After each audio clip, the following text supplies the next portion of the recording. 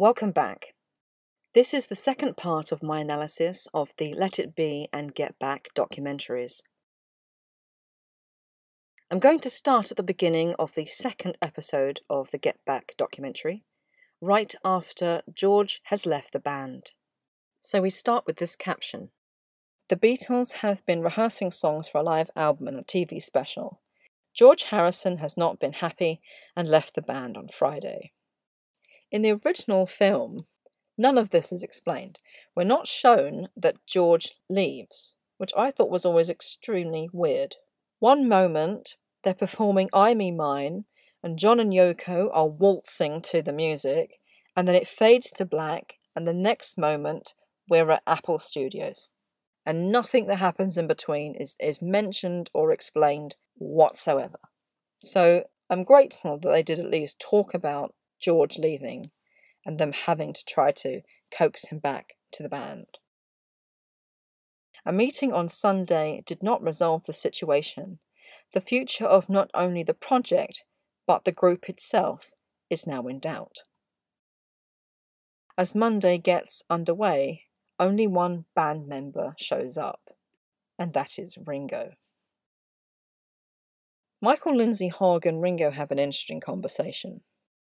Ringo asks Michael, What will be the nature of the documentary? And Michael says, Well, if we're not hiding, then we have a lot to say. We've probably already got our documentary. But if we are hiding, then we don't have much. So they pull together as a group to discuss the future of the project after Billy and Linda turn up. Linda starts to talk about how yesterday Yoko was talking for John. I have a feeling that half the stuff Yoko said yesterday isn't mm, she was talking for John. And then Billy backs her up and says, John didn't talk, so Yoko talked for John. And then he makes his famous quip about it'll be so funny in 50 years' time if they say they broke up because Yoko sat on an amp. I don't want to say too much about this now because I'm going to talk about it later on in this video. But the way that Let It Be and Get Back were edited it makes it seem like Yoko was a very quiet presence in the room. But if you've listened to the Nagra tapes, the source audio recording for the film, you'll know that that's not true. And she did actually speak up quite a lot, including passing comment on how the writing of their songs was going and the arrangement of their songs. So she was a much more invasive presence than either film makes out. Billy then says something really quite desperate. In fact, I wasn't quite sure whether or not he was serious, because it was such a bizarre thing to say. He says, I have an idea for the ending of the show. We get the editor of something like the Daily Mirror and a whole bunch of really hard hitting journalists, and we have a show where we do songs that are interspersed with red hot news from the, the four corners of the globe. And the last bulletin is that the Beatles have broken up, and that's the end of the show. And Ringo's face is of one of absolute horror. By that point, Billy also looks really stressed, and then famously says, and then there were two. I really wonder what Billy was thinking in this moment. And obviously, we can never know, but we can have some idea, I guess, based on what he says in memoirs. Maybe something along the lines of, well, I've given up my entire life to be Paul McCartney of the Beatles, and now the Beatles might not be together anymore. And what will happen to me? And what the hell am I going to do? Whilst Neil Aspinall is trying to get John on the phone, they then ask Michael Lindsay Hogg what he feels about the project. And he admits that he was in two minds of leaving as well. And then he says, But I thought they won't notice because you guys never listen to me. And everybody laughs, but actually it's a serious point. In fact, it's the same point that Billy made on the 7th of January, and here we are on the 13th of January, and nothing has really changed.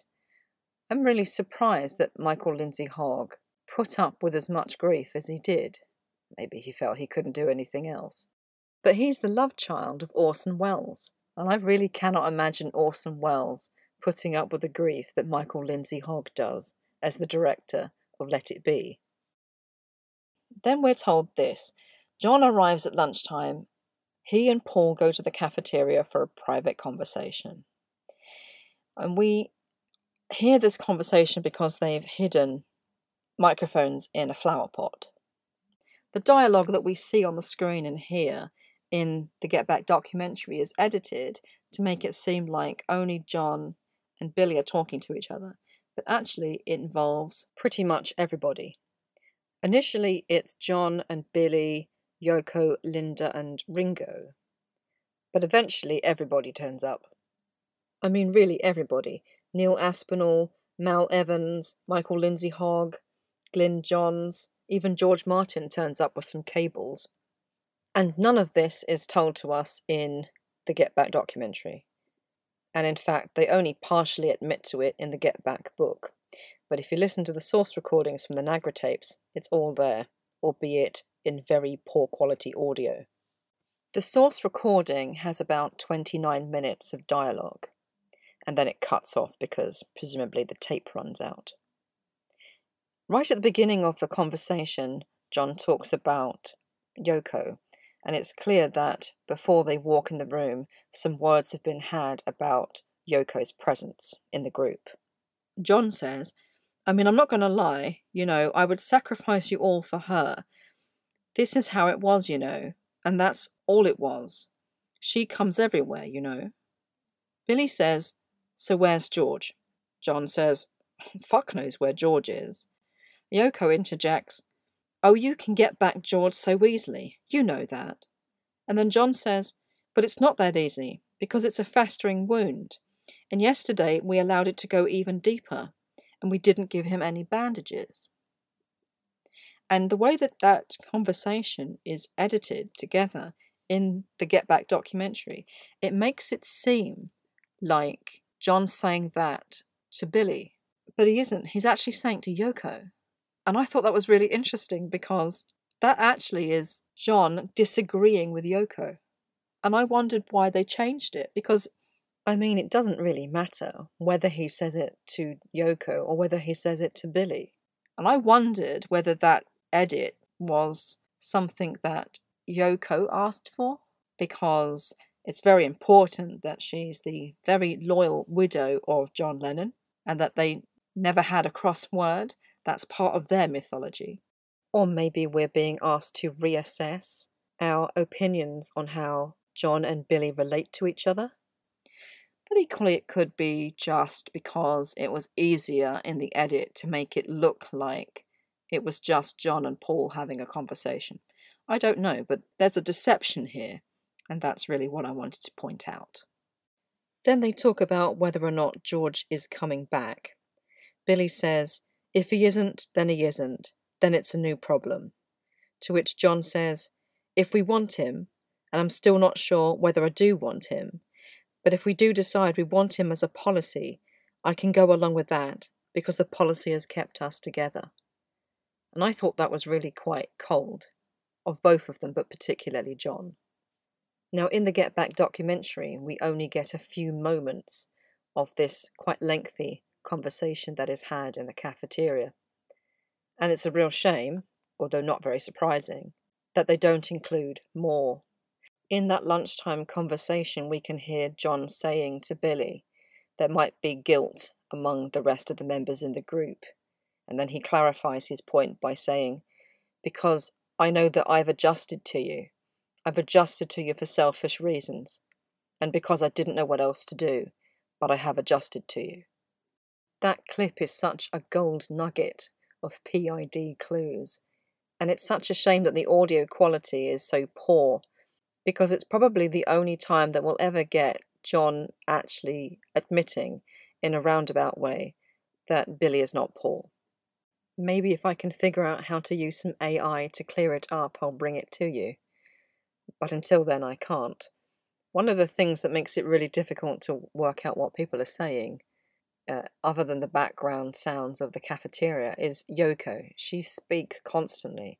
She's jabbering on and on, having some kind of conversation with Linda, except she's not really having a conversation, she's just talking at her. One of the other interesting bits that comes out from that conversation is this John says, It's like George said, he didn't get enough satisfaction anymore because of the compromise he had to make to be together, that is, in the Beatles. When something came out like Revolver or whatever, there was still that element of surprise that we didn't know where it came from. But now we know exactly where it came from and how it arrived at that particular noise and how it could have been much better or needn't have been at all. The only way to get it satisfactory for yourself is to do it on your own but then it's too hard. Now, what does that mean? When something came out like Revolver, there was still that element of surprise that we didn't know where it came from. Surely you know where your own album comes from. I mean, unless he's talking about that in the sort of mystical sense of the word, I really don't know what he means. Unless he's suggesting the albums came from somewhere else, i.e., that they had professional writers and professional musicians working on their album and they only sang on them. And that's why it sounded like a surprise to them when they finally heard it. I don't know what it means, and it's a statement that's very open to interpretation, so I'll just let you ponder over it.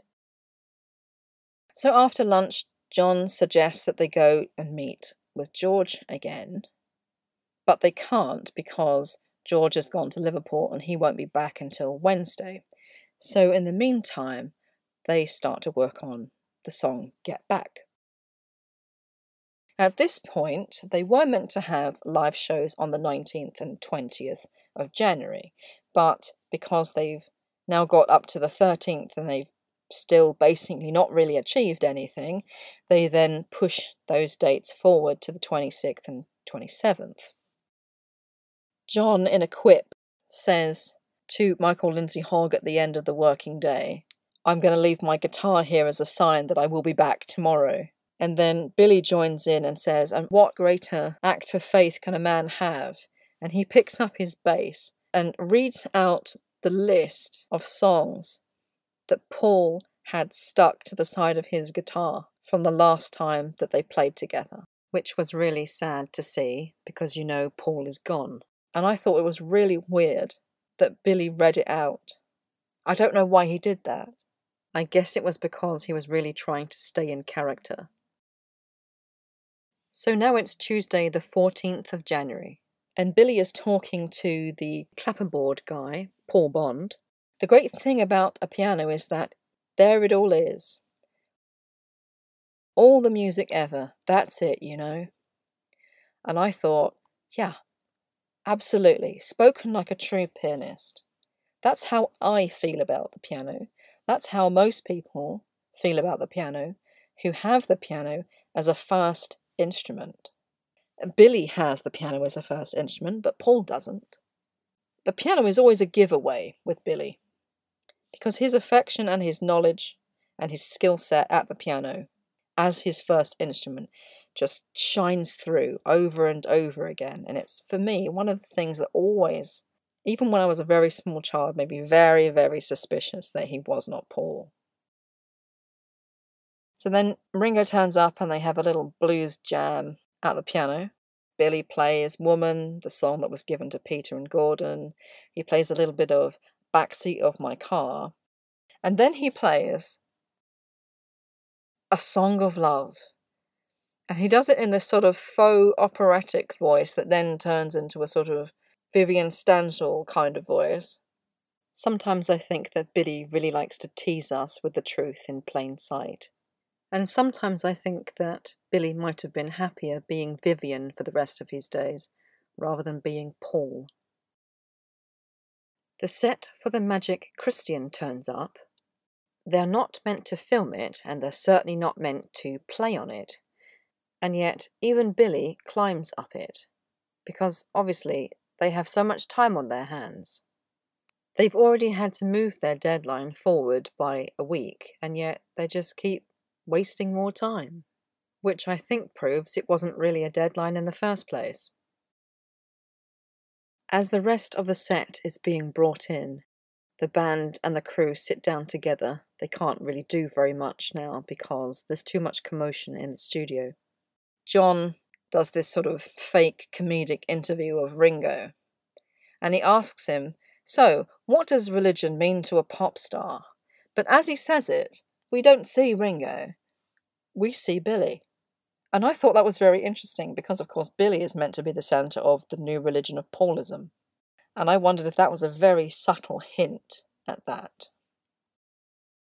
So here they all are together, and Billy says, Look, we can't go on like this. What we need is a serious program of work, not an aimless rambling amongst the canyons of your mind. The Canyons of Your Mind being a song by the Bonzos.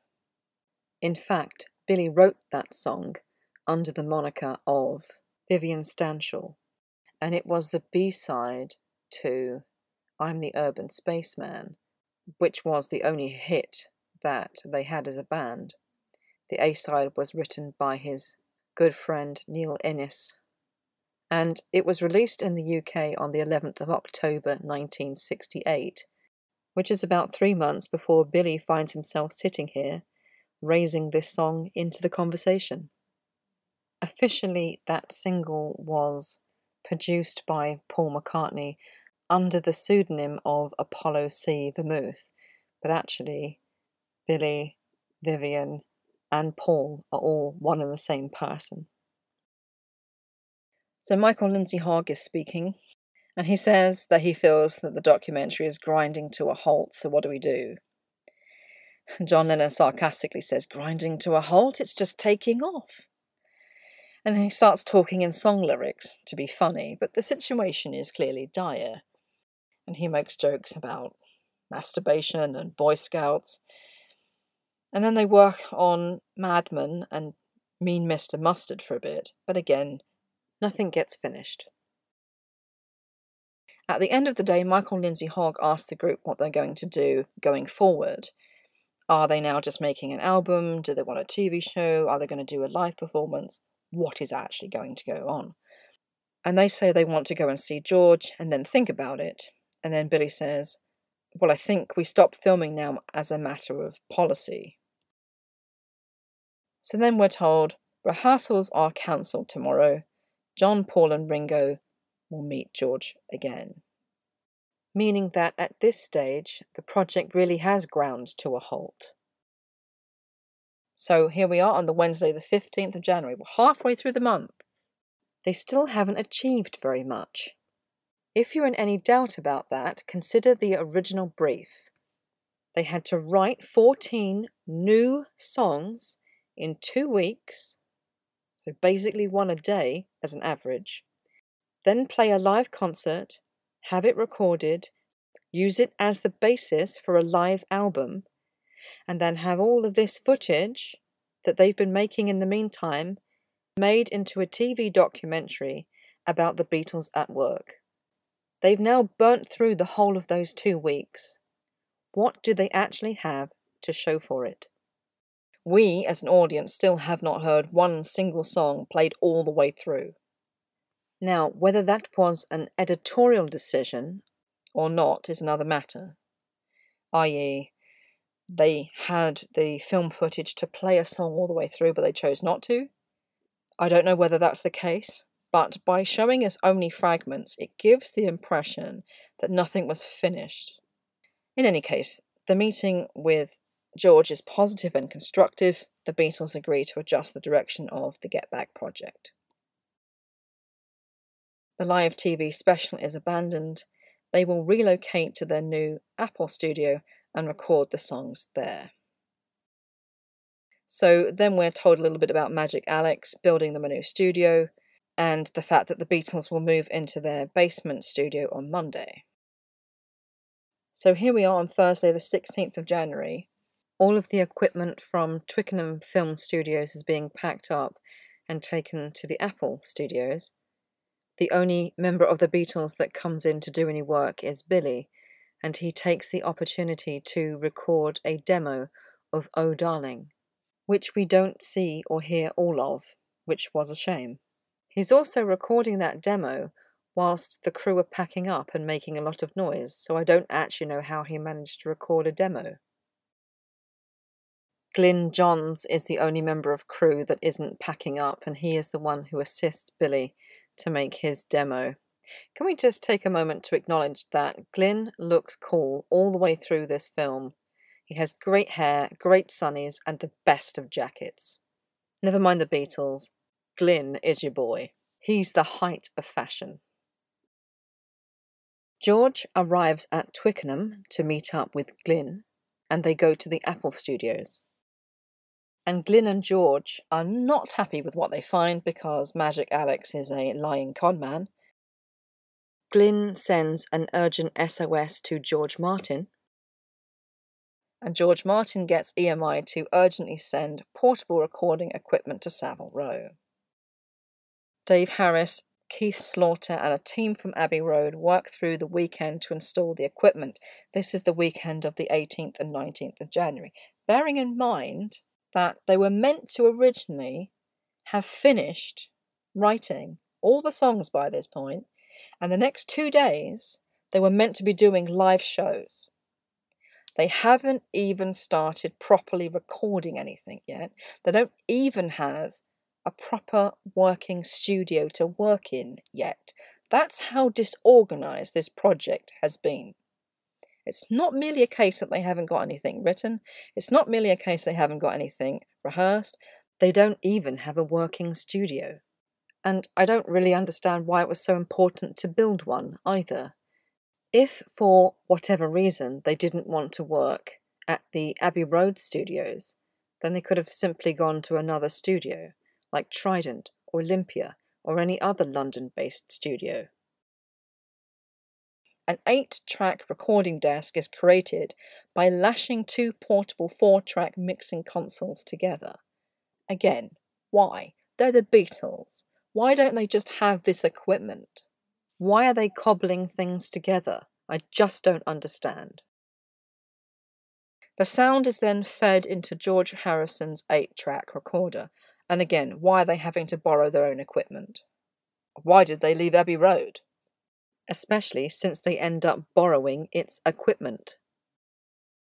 So here we are, it's Monday, the 20th of January. They were meant to be giving a live show but the whole premise of this project was stupid right from the start, and they basically set themselves up to fail. We get these establishing shots of the streets uh, outside and surrounding Savile Row, which is where they've now moved to because that's where the Apple studios are. And in amongst them, we get this blink and you miss it moment. We get a picture of a newsstand for the London Evening Standard.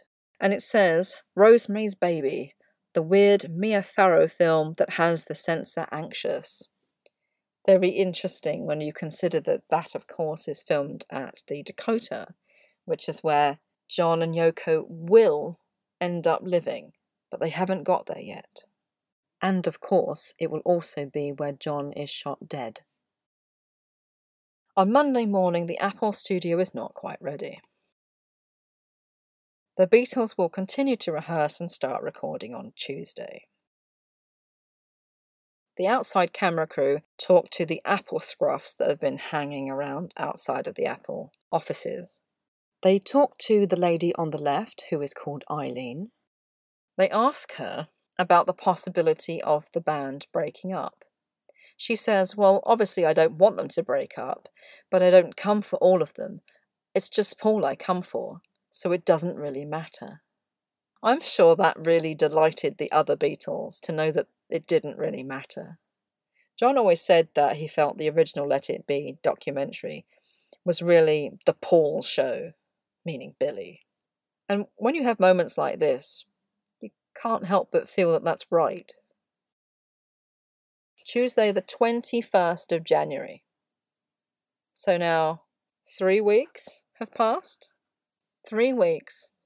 They should have been giving the second of their two live performances at this point. They've only just started recording. That's how disorganized this entire project is. George Martin comes in and says very optimistically, pointing towards the boom mics that are picking up the conversations, You'll be able to get rid of these once we get set up. And then everybody laughs. Like, no, we're not taking those away, sunshine. And it's probably a good thing too, because I think those Nagra reels contain information that's pretty interesting. At this point, we get the information that the TV special footage, shot in 16mm, will now become film footage for a feature film to be put out at the cinema, which means it should have been 35 mil. They speak about doing a live outdoor show of some kind, maybe at Primrose Hill, but now there's another problem. Glyn Johns is booked on another recording session in LA, and he only has a few days left to finish his work with the Beatles. So now they're really, really against the clock.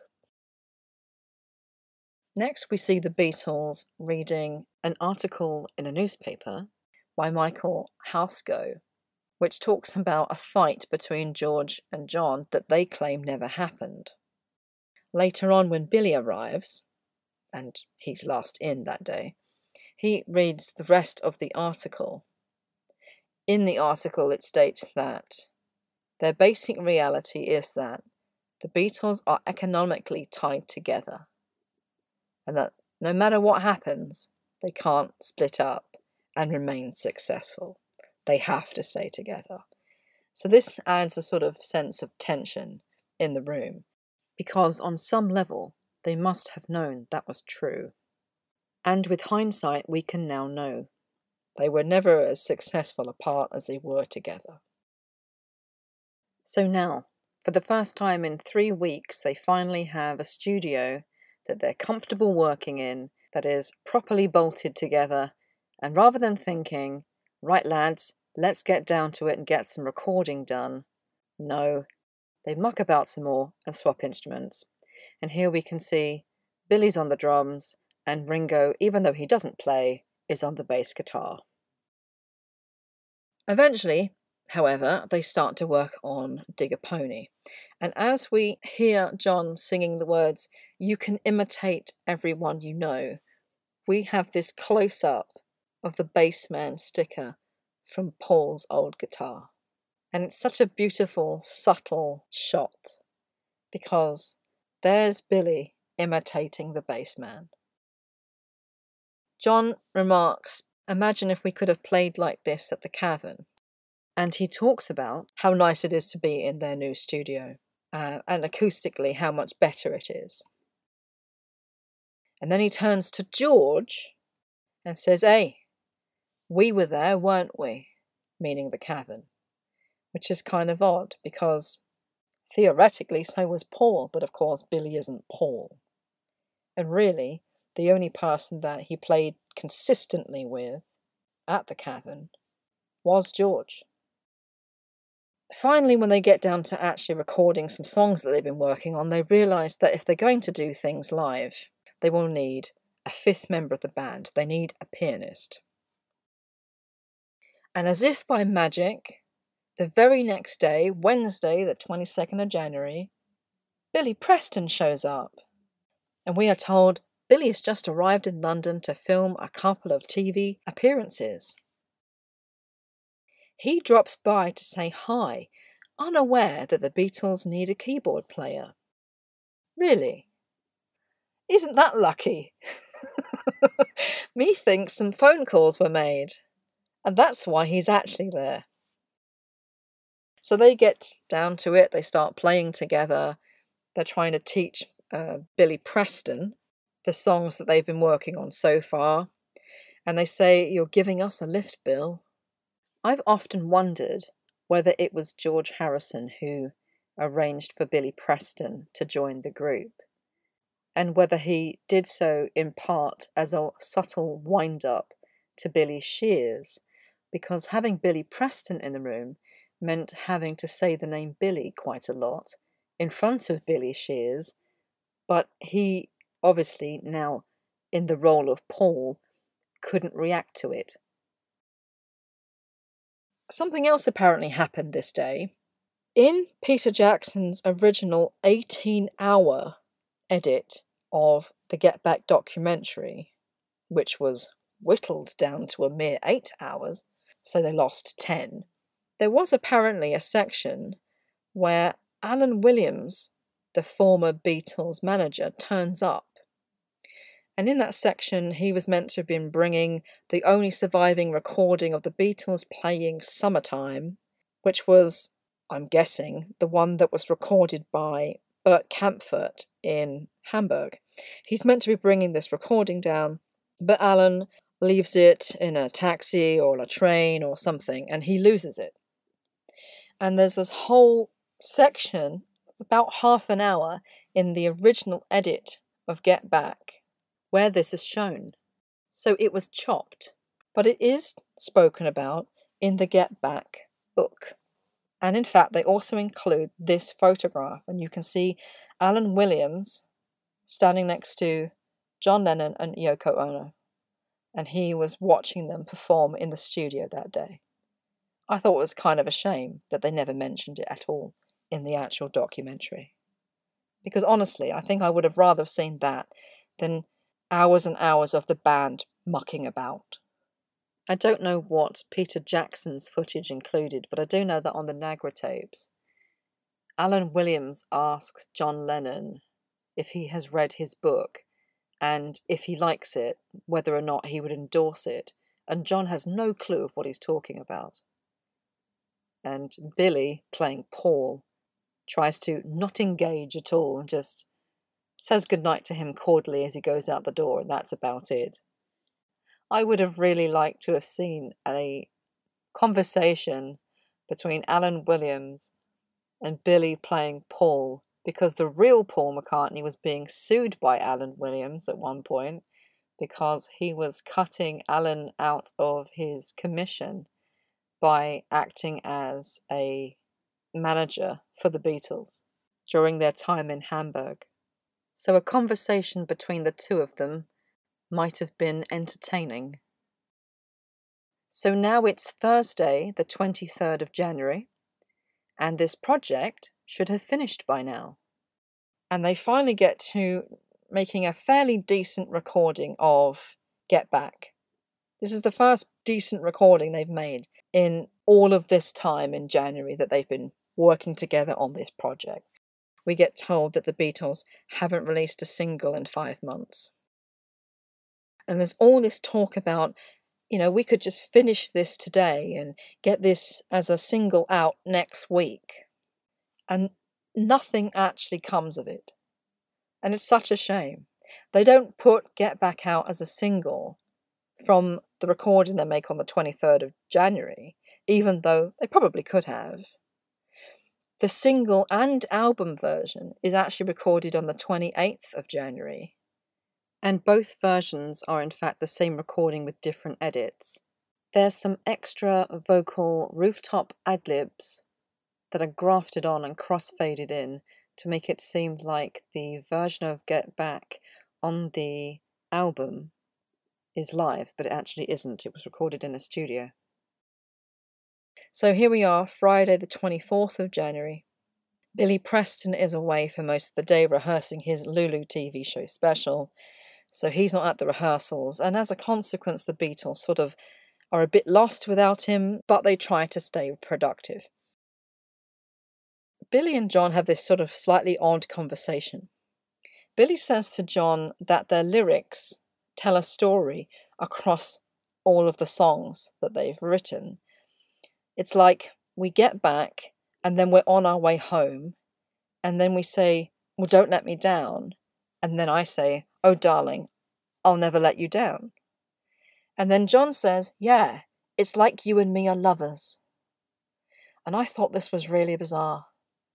Firstly, they always seem to want to make the relationship between Billy and John seem a lot more close than it really was. But secondly, they keep hinting that John had some kind of homosexual experiences. Not that he actually was gay, but that he had some kind of bi curiosity. And this is even more curious when we consider that recently there was news that there would be four new Beatles biopics, one film about each of the Beatles, directed by Sam Mendes. When we first got the press releases, about the intention to make those films. One of the pieces of information that came out with it was the idea that there had been a fan led request that at least one of the films would feature the Beatles in a group sex scene, because apparently that had happened. And first of all, this is an excellent way to introduce a scene with sex magic. Equally, I wonder if they're trying to, as it were, update the image of the Beatles, because the Beatles are four straight white guys, and that's so last century. In an age where people claim to be non binary and attracted to trees. So I kind of wonder why they raised this idea to try and change the reputation and the mythology of the Beatles as being much more edgy than they really were. So the day continues and the mucking about continues, and out of that mucking about comes a version of the Liverpool folk song Maggie May.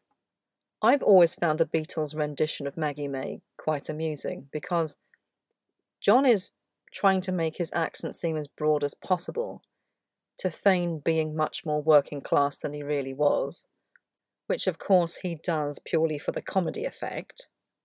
And then Billy is just tagging along, trying to pretend that he is actually from Liverpool in the first place. Another fun song they play is Fancy My Chances with You. And again, we're told the mythology of all the songs that John and Paul wrote in their early days before they were famous. And then we see that Pattie Harrison is the last of the wives and girlfriends to turn up to the studio, now making it a full house. Billy Preston is back for the recording of Dig It. The version of Dig It that we get on the Let It Be album is actually recorded two days later, but it has an improv grafted on from this day. And it's where we get the little improv. That was Can You Dig It by Georgie Wood. And now we'd like to do Ark the Angels Come, which was grafted on to the end.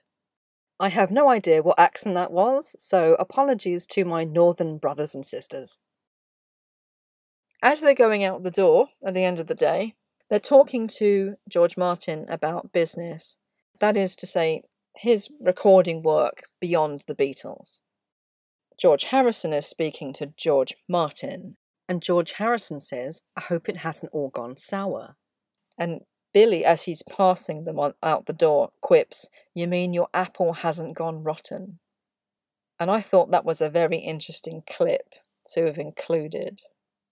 Because obviously, The Rotten Apple is a Paul is Dead documentary. Now, Billy couldn't have known about that at the time when he said this in, in this documentary, but the fact that it was included when it's a piece of frippery, really. Alan Williams coming down to see the Beatles was left on the cutting room floor, but this was included.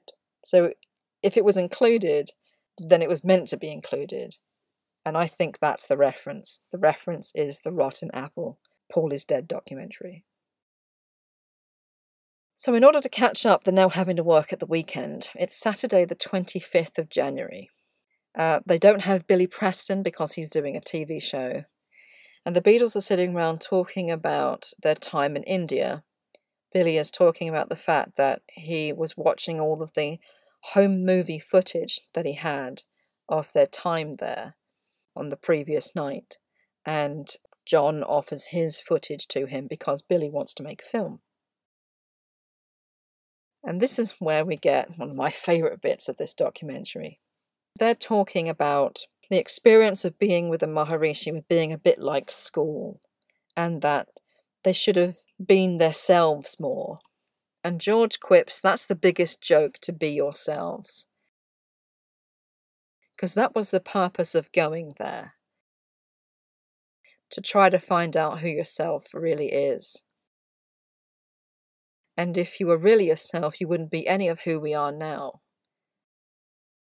followed by a judgmental look at Billy. And Billy, all he can do is look down and say, hmm. And I love this because George has made a very deep spiritual point, and he's used it as the cover to point out not just Billy's deception, but also all of their deception as a group. And then, out of all the songs in the world, John starts to play Act Naturally.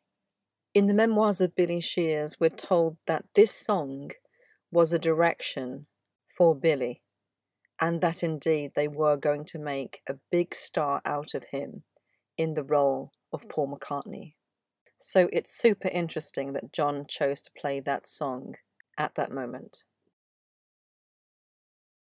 So the group are together and they're talking with Glyn because he was meant to be in LA by Tuesday and it's Saturday. So they've only got three days left with him to try and get an entire album recorded. So no pressure. But then Glyn says, actually, I don't have to go until Thursday. But that still means they have to write, rehearse, and record 13 or 14 tracks in five days. So, understandably, there's a sense of panic in the studio because they can move deadlines, but they will find it very hard to record without him. So then they start to record For You Blue on the 25th of January. And we're told that this take appears on the Let It Be album. That's true, and not true in equal measure. The rhythm track, all the instrumental parts, are recorded on this day. But actually, George came back almost a whole year later on the 8th of January 1970 to re record the vocal part. So, next we're told they had been discussing whether or not to have a live performance at Primrose Hill, but that's no longer possible, partly because they aren't ready, and partly because they couldn't set it up anyway.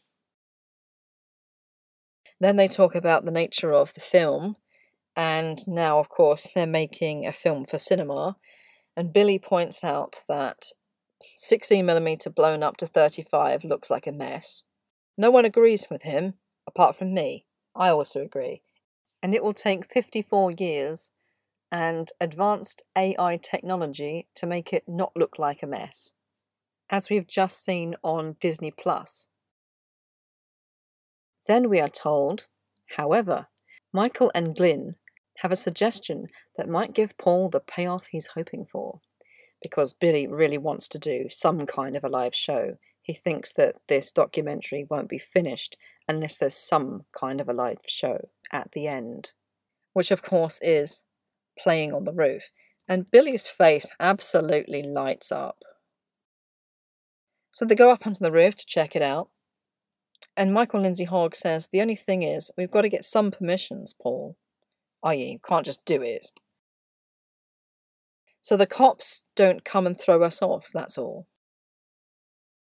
Ringo says, Why don't we put a camera on the neighbouring roof? And then Michael replies, Because not only would we be had for disturbing the peace and the noise, but also for trespassing. Which is interesting because later on, when they actually have the rooftop concert, there is someone from a neighbouring building that says, You're on my roof, and I didn't say you could be there. And it's it's a blink and you'll miss it moment. So I wonder if that's actually true, whether they actually did get permission or not. He, that guy is told repeatedly by the receptionist that no, no, it's not true. We're not on your roof. But he should know if they're on his roof or not, surely. So, anyway, there's a concern that the roof may not support the weight of the band and their equipment. So, presumably, therefore, they have to check that out. And that would take some time. But we're never told anything about that. In the meantime, they come down from the roof, and George is fixing everybody a drink and there's a you might not be able to see it but there's a little pool of white powder in the middle of his tray between the, the bottles and that little patch of white powder gets smaller and smaller over the process of this day. Every time he hands a drink to someone, they're swirling it around as if they're mixing something in. And that includes Billy. You see him swirling a glass around with his right hand. So, yet another example of him being out of character, because of course Paul was left handed. So, after a million takes of Let It Be, and none of them being the final, they pack up for the day, and we are told that the Beatles decide to stage their rooftop concert on Wednesday, four days from now. And that's where the second episode of the Get Back documentary ends. So they leave us on a cliffhanger. And that's where I'm going to leave you too. Thank you so much for watching this second video about my analysis of the Get Back documentary and the original Let It Be movie. I hope to see you very soon in the third and final part. Goodbye.